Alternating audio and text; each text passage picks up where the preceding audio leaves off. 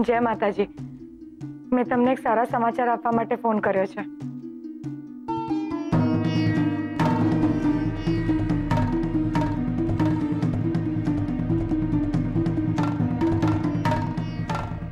બેટા તું ચિંતા નહીં કર તું જે રીતે તારા સાસરાને સાચવી રહી છે ને બેટા એ જોઈને મારી છાતી ગજ ગજ ફૂલે છે બેટા તું જેમ કહીશ એમ જ થશે બેટા સારું બાપુ જય માતાજી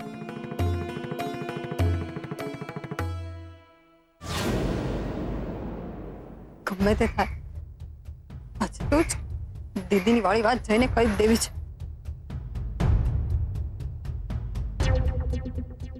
ફોન તો બિઝી આવે છે શું કરું હવે હમ. હા ફરી વાર ટ્રાય કરું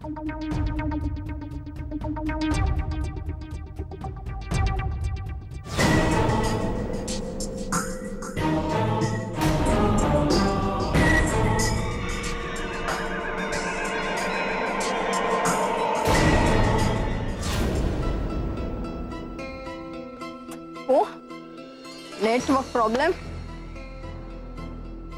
હવે શું કરું હા કદાચ કોલ વેઇટિંગમાં જોઈને જઈ મને પાછો ફોન કરશે જ ને ઓકે થેન્ક યુ મેં ફોન હલો જય સાંભળ હા મેં બોલો ક્યારની તને ફોન ટ્રાય કરું છું તારો ફોન જ નથી લાગતો ક્યાં હતો તું હા બોલો ને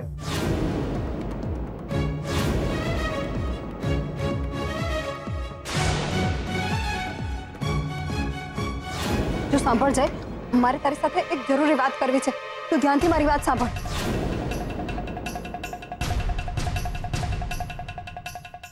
હેલો હેલો જય હા બોલો જય તને સંભળાય છે હલો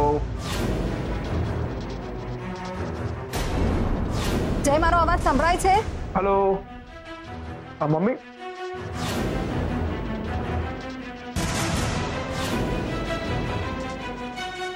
ઓકે પછી વાત કરું એ પણ નથી સંભળાય માય ગોડ બેટરી લો હું તો ફોન ચાર્જ કરીને નીકળી હતી કેવી રીતે થયું હવે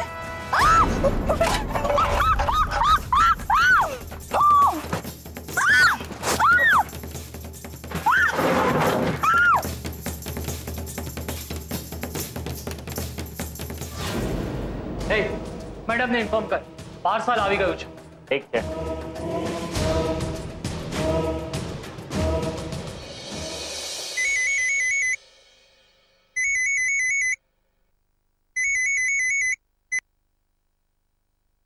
હલો હલો હા મેડમ પાર્સલ આવી ગયું છે શાબાશ હવે મેં જેમ કહ્યું છે ને એવી રીતે જ બધું કરજો અને હા જ્યાં સુધી હું તમને ફોન નહીં કરું ત્યાં સુધી આગળ કંઈ નહીં કરતા સમજ્યા ઠીક છે મેડમ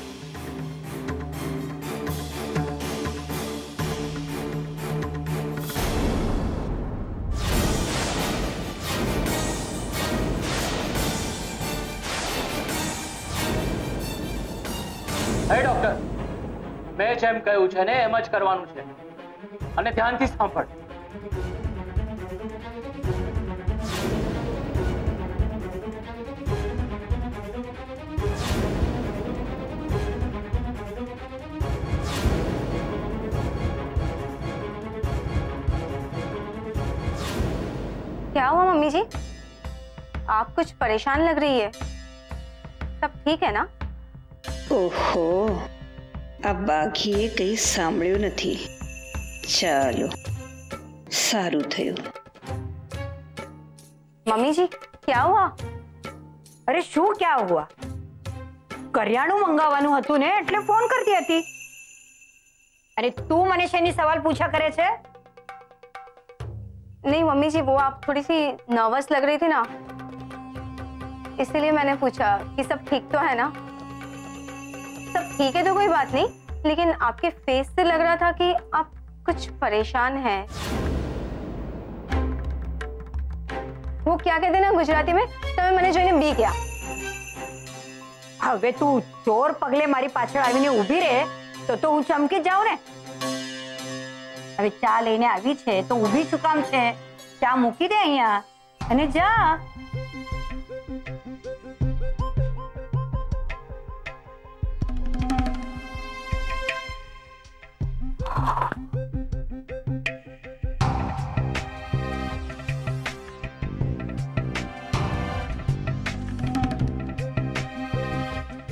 नहीं डॉक्टर ऐसा इंजेक्शन लगा इसको कि तीन चार घंटे तक होश में नहीं आनी चाहिए समझा ना हाँ हाँ नहीं तर जी जी भाई टेंशन नहीं अपुन है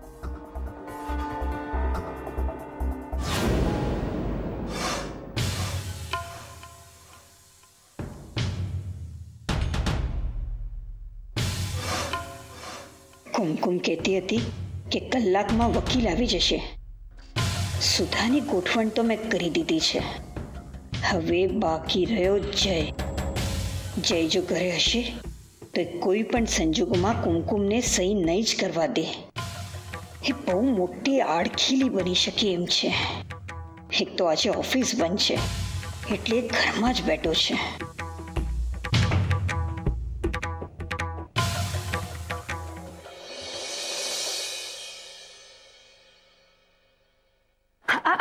બેટા હા મોટી મમ્મી હું તને જ મળવા આવતી હતી અને જો તું મને અહીંયા મળી ગયો બોલો ને કઈ કામ હતું હા બેટા છે બેટા મારો છે ને એક બહુ મોંઘો ડાયમંડનો હાર છે જેમાં થોડું રિપેરિંગ હતું ને તો મેં જ્વેલરને આપ્યો હતો જે આજે કલેક્ટ કરવાનો છે અ, એમને ત્યાંથી મને ફોન આવ્યો હતો કે એ લોકો બારગામ જવાના છે તો બે દિવસ માટે શોરૂમ બંધ રહેશે હવે આટલો મોંઘો હાર બે દિવસ માટે શોરૂમમાં રહેશે તો એ રિસ્કી કહેવાય ને દીકરા એટલે મેં ઘરમાં બીજાને પણ કહ્યું કલેક્ટ કરવા માટે પણ બધા પોતપોતાના કામમાં બિઝી છે તો મને થયું કે ઘરમાં જવાબદાર વ્યક્તિ તો તું જ છે એટલે મેં તને કહ્યું શું છે દીકરા આજે છે ને મારું માથું બહુ દુખે છે ને તો હું પોતે જઈને કલેક્ટ કરીને આવી હોત જો તારાથી શક્ય હોય તો તું જઈને લઈ આવશે દીકરા પણ મેં તો કુમકુમને પ્રોમિસ કર્યું હતું કે આજે મને ઓફિસમાં રજા છે તો એને શોપિંગ માટે લઈ જઈશ અરે અ, મને લાગે છે કે મેં તને કહીને ખોટું કર્યું હું તને હેરાન નથી કરવા માંગતી જવા દે ને હું જઈને લઈ આવું હા ના ના મોટી મમ્મી તમે ચિંતા નહીં કરો હું જઈને લઈ આવું સાચે બેટા તું જશે લેવા થેન્ક યુ સો મચ બેટા આ મને માઇગ્રેનનો પ્રોબ્લેમ ન હોત ને તો હું પોતે જ એને લઈ આવત પણ હવે તું જાય છે ને દીકરા તો હું નિશ્ચિંત થઈને આરામ કરીશ થેન્ક યુ સો મચ હા દીકરા હા, તને જરા લાંબો ધક્કો પડશે પણ તું જશે ને ઇટ્સ ઓકે મોટી મમ્મી તમે ચિંતા નહીં કરો હમ? બસ હવે તો મારા રસ્તાના બધા કાંટા દૂર જય ત્યાં જઈને પાછા આવશે એટલી વારમાં અહીં કુમકુમની સહી વાળું બધું કામ પૂરું થઈ ગયું હશે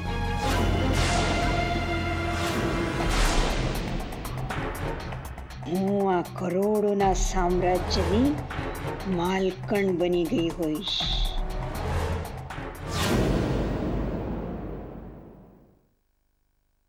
અ, કુમકુમ મારે તને સોરી કેવું છે સોરી પણ શું કામ કારણ કે મારે કામથી બહાર જવાનું છે એટલે હું તને શોપિંગ પર નહીં લઈ જઈ શકું એટલા માટે બસ આટલી જ વાત છે વરજી આટલી અમસ્તી વાત માટે તમારે મને સોરી કહેવાની કઈ જરૂર નથી ઓન સેકન્ડ થોટ એક કામ કર તું પણ ચાલ સાથે આપણું શોપિંગ પણ થઈ જશે અને મોટી મમ્મીનું કામ પણ થઈ જશે મારે ખાલી એમનો નેકલેસ લેવા માટે જ જવાનું છે અત્યારે તો હું બહાર જઈ જ નહીં શકું વકીલ અંકલ ગમે ત્યારે ઘરે પહોંચશે આમ તો વરજી બહાર જાય એ સારું જ થશે કારણ કે એમ થશે તો આ સહી કરવાવાળી આખી વાત એમની ગેરહાજરીમાં જ પતી જશે અ, વરજી એક કામ કરો ને તમે જ જઈ આવો ત્યાં સુધી હું ઘરના બધા કામ પતાવી દઉં છું અ, એવું હશે ને તો આપણે આ રવિવારે જઈશું sure thank you so much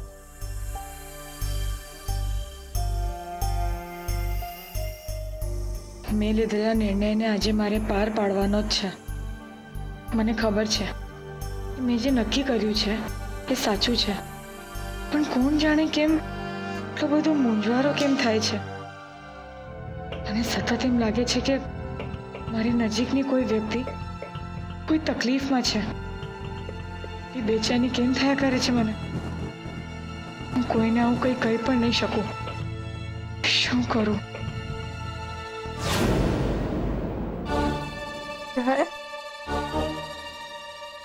ये डॉक्टर ये होश में किधर गई देख कौन सा इंजेक्शन लगाया? देख तेरी को लगा इंजेक्शन इसको। ये तू चुप हट। ये होश में कैसा है? ये डॉक्टर ये तू बोलना इसको कुछ। लगा जल्दी। तेरी तो लगा नहीं तो फोड़ता हूँ तेरे को। लगा जल्दी। ये चुप। ये डॉक्टर लगाता इंजेक्शन नहीं तो फोड़ता हूँ तेरे को। चल जल्दी। लगा इंजेक्शन इसको।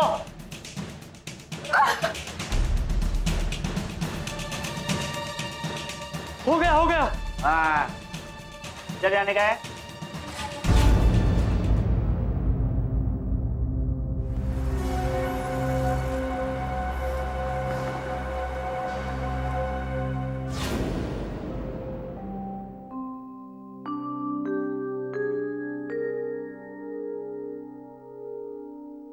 અરે કુમકુમ બેટા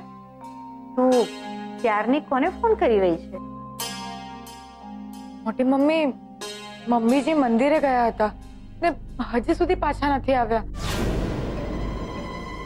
એટલે મને થોડી ચિંતા થતી હતી અરે જો ને એ મને કહીને ગઈ હતી અને હું તને કહેતા જ ભૂલી ગઈ આજે છે ને મંદિરમાં કથા છે અને સુધાએ કહ્યું કે આખી કથા સાંભળીને જ ઘરે આવશે ઓહો અચ્છા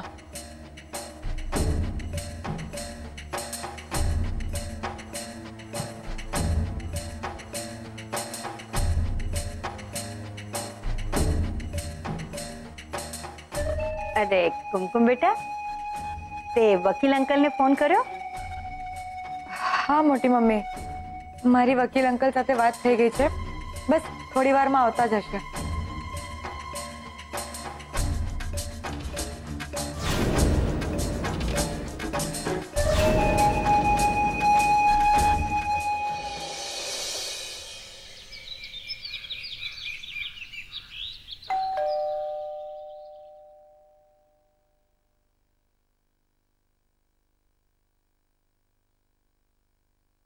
જય માતાજી જય માતાજી આવો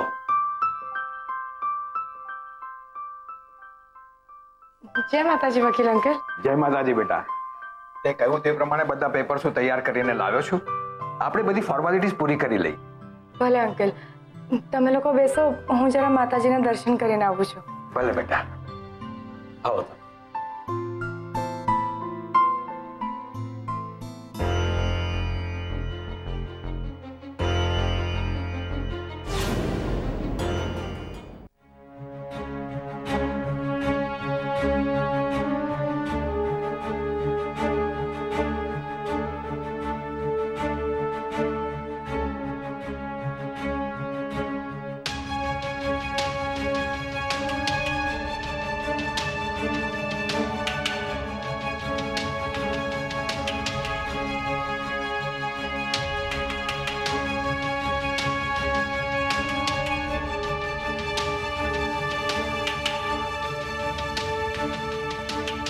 બરાબર છે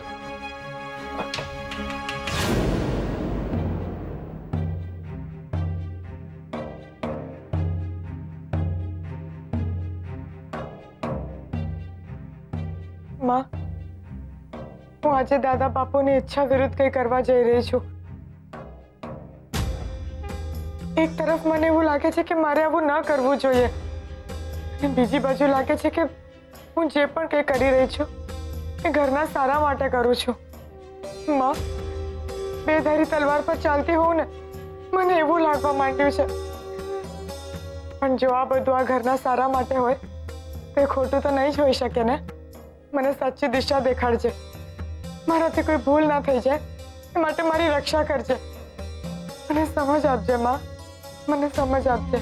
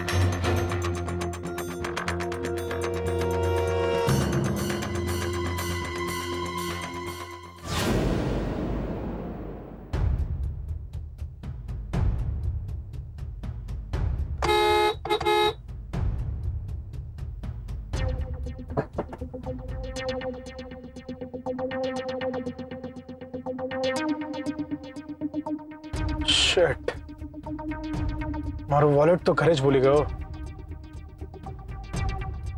પાછું ઘરે જવું પડશે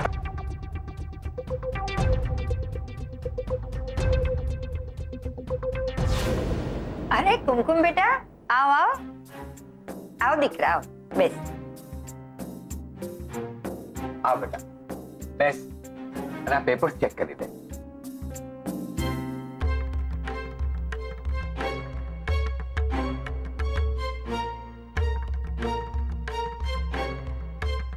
અરે કુમકુમ બેટા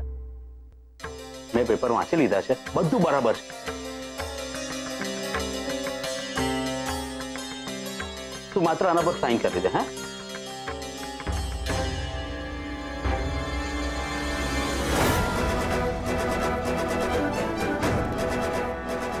હાલે સાઈન કરી આ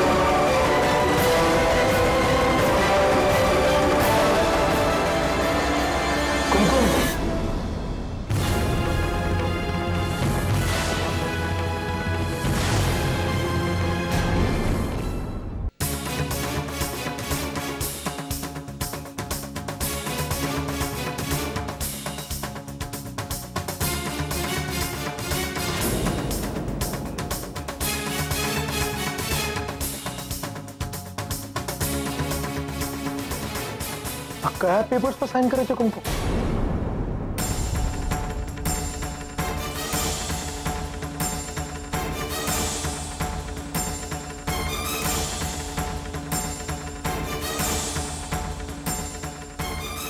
કુમકુમ મેં તને પૂછ્યું આ શું ચાલી રહ્યું છે ને આ શેના પેપર્સ છે અરે કઈ નહીં જય બેટા અ, બસ સમજતા જ અ, થોડું પેપર વર્ક બાકી હતું ને એટલે બસ એ પૂરું કરી રહ્યા હતા અચ્છા અમસ્તા તો પછી લોયર અંકલને શું કામ બોલાવે છે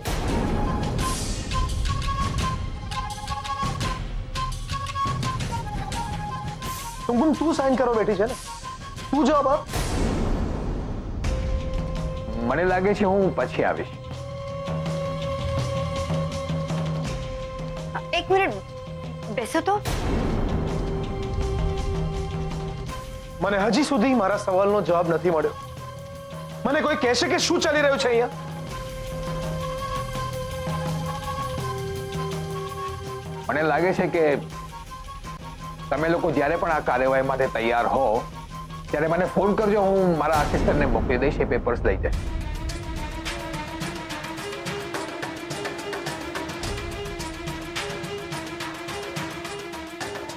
ચાલો હું રજા લઉં છું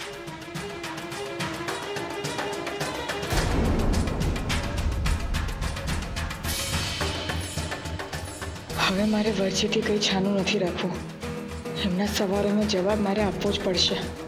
નહીંતર હું એમને છેતરું છું એમ કહેવાશે અને એવું તો હું ક્યારેય નહીં થવા દઉં